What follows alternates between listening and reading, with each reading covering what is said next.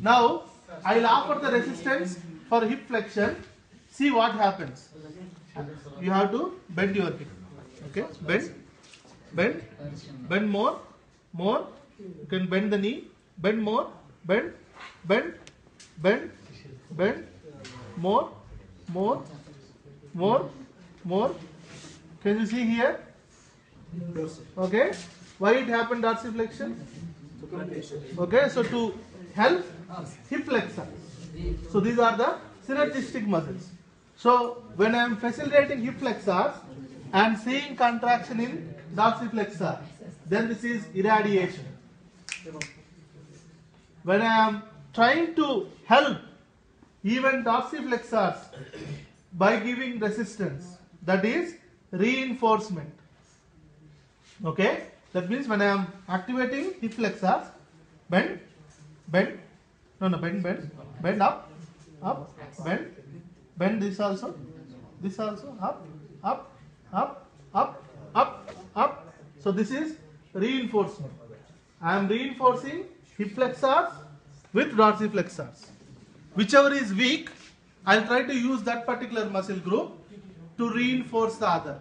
For example, if my patient has weak dorsiflexion, then I may give resistance in the hip flexors to get more activity of dorsiflexor. Or if my patient has weakness in the hip flexors, I may give resistance for the knee flexion, so I may get more activity in the hip flexor. So this is reinforcement. I am reinforcing one muscle group by using the other. Okay?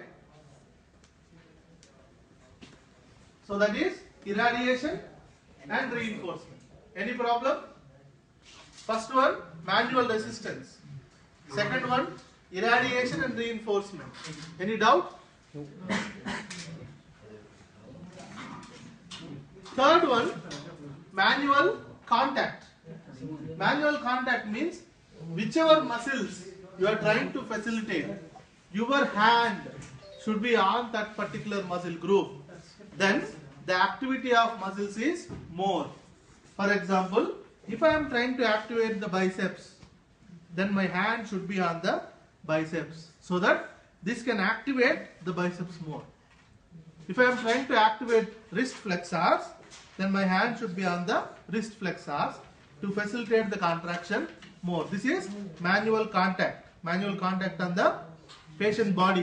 Whichever group you want to facilitate, the hand should be on that particular muscle group.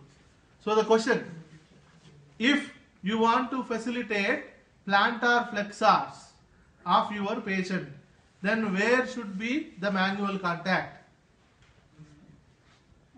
Calf. On the calf. Okay? Whichever muscle you want to facilitate, the hand should be on that particular muscle. Okay? Same group.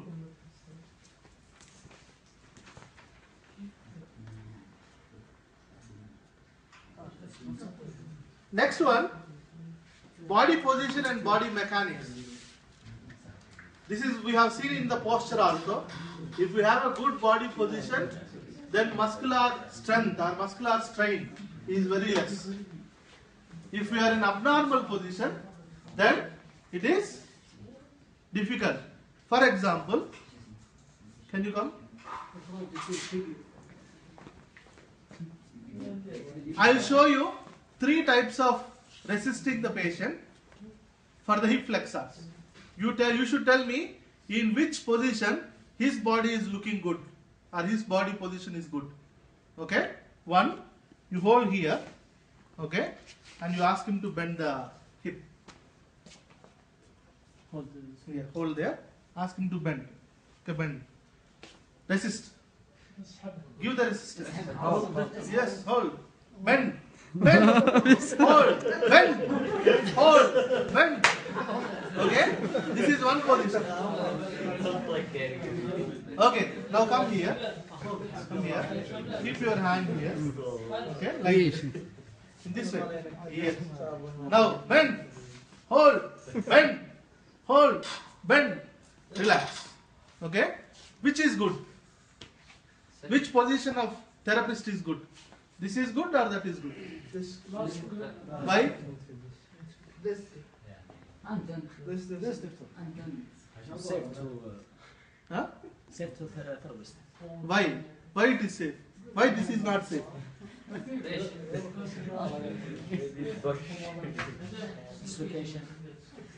Okay. When they are here, they try to use more flexion. Okay, the therapist will be bent to hold it. But when they are here, their posture is good. They can just put their body weight. Okay? Most of the time, you don't know because you are not at practice as a physical therapist. But with experience, I am telling, when you use extremities in your resistance, then by the end of the day, you will be very tired as a physical therapist.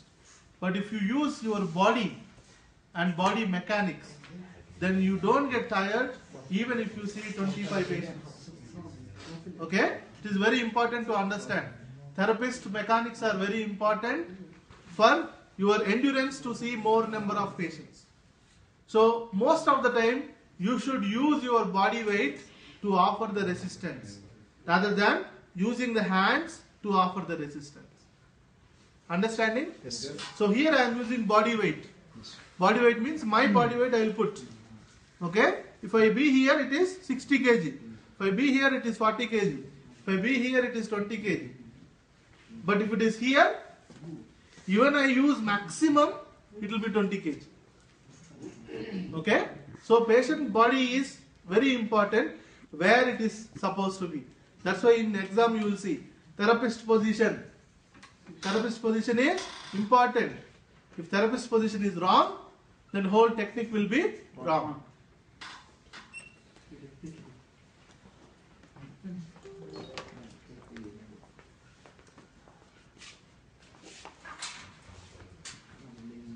Okay, verbal command. If I am talking to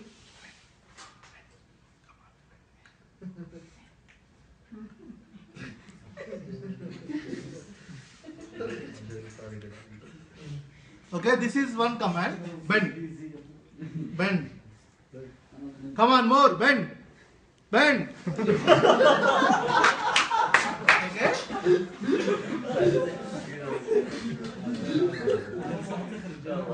When there is maximal force of contraction for muscle, when there will be maximal contraction for the muscle? Next. When I say slowly or when I say with good voice? Good for. Okay? Slowly when you say, you cannot facilitate muscles. If you want to facilitate, it should be, command should be firm. Command should be nice. So your voice is very important when you are talking to your patient. Even in the class if I am speaking. Everything fine? No. Good? Kalas? Okay? So you don't understand anything what I am speaking. So my comments are very important. It should be firm. It should be precise. It should be clear. So your comments to the patient should be clear, precise, with good volume. Okay? So that is the importance of verbal commands. So when patient is able to understand your commands, they can do better.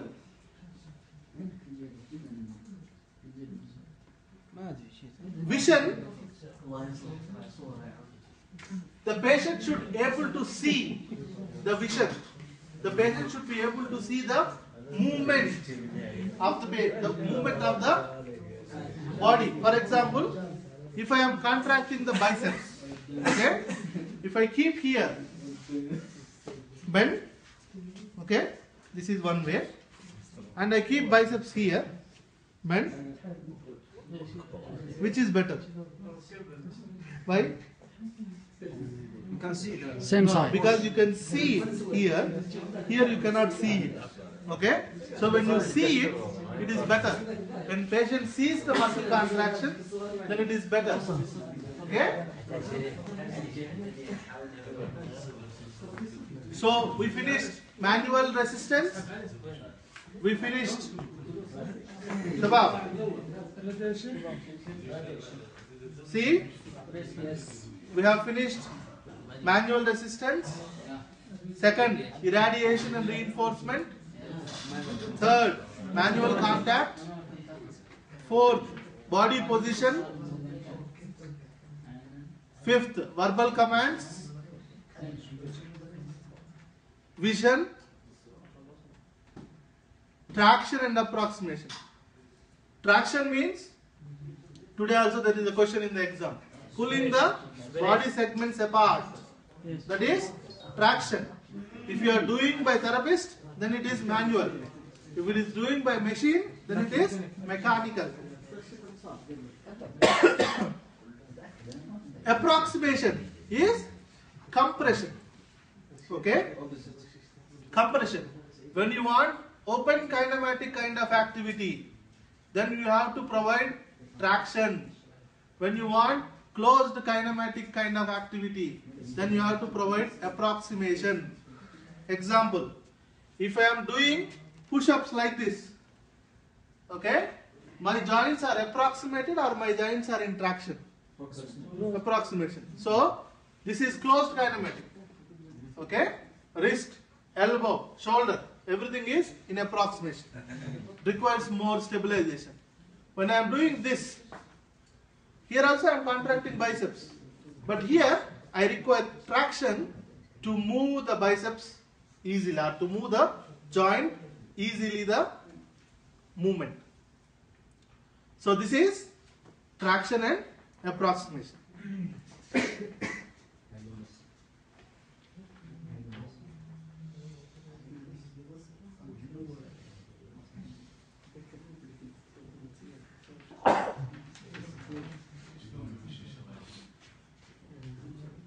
Stretch.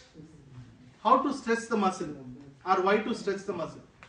When we stretch the muscle and ask the patient to contract, the contraction force is good. Okay? But when you don't stretch the muscle, then the contraction force is less. There are two points of stretch. That is, the first is short latency spinal reflex that produces little force and may not be functional significance. The second is functional stretch. Response has a longer latency but produces more powerful and functional contractions. So when you stretch the muscle, if it is contracting, then it is the facilitation for contraction. For example, you know deep tendon reflexes? Yes.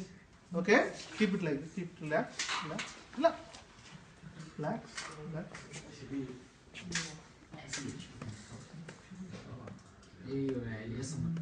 Okay? Why it is moving? Reflex. So the first contraction is reflex stretch. Okay, this is reflex stretch, which is not useful. Okay? But if I am stretching and asking you to contract, for example, I bend and can you make it straight? Yes. Bend, straight, bend, straight, bend, straight. This is second part. The first part is automatic, which is not good, not for the functional improvement. But the second type, you give the resistant and ask the patient to do the contraction. That is more useful for the patient for the long run. So that is about the stretch. Timing. Timing means normal movements when they start. They start from proximal to distal or distal to proximal Proximal to distal. proximal to distal. But when you see the movement, the contraction starts proximal to distal. But movements start from distal to proximal. For example, if this specs is here, okay, when I try to reach, before my shoulder activated, my hands are open already. Okay, my wrist is up, my hands are open, then I'll go. I don't do this movement, then I open. I'll do this. No. Okay, no. I'll already open, then I do this. So it goes from distal to proximal. Movement goes from distal to proximal. But muscle contraction, stabilization requires from proximal to distal. So when you activate the movement for your patient in the patterns, for example, I am doing a pattern that is flexion, adduction, supination, disc flexion, finger flexion, ulnar deviation. Okay, if this is the pattern, then I start from here, extension. Now I do bend your fingers, bend your fingers, bend your wrist, very good. move wrist to ulnar deviation, supination, bend more, bend more, bend more, and bend more.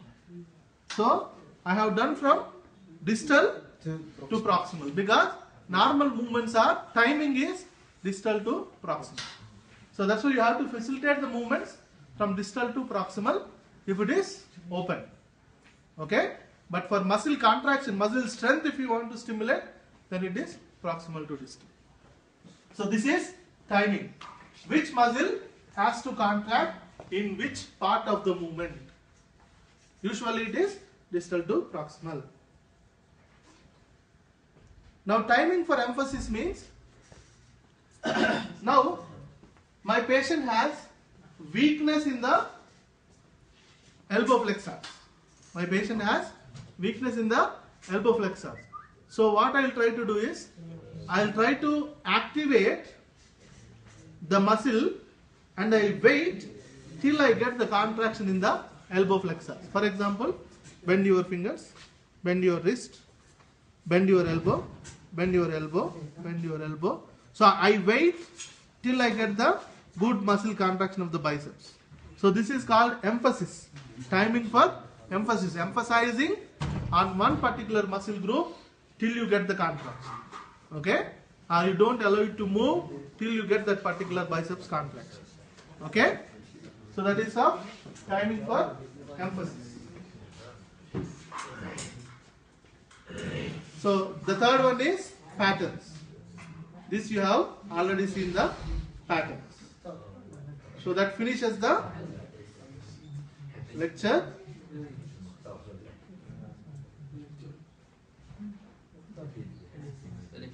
Yes.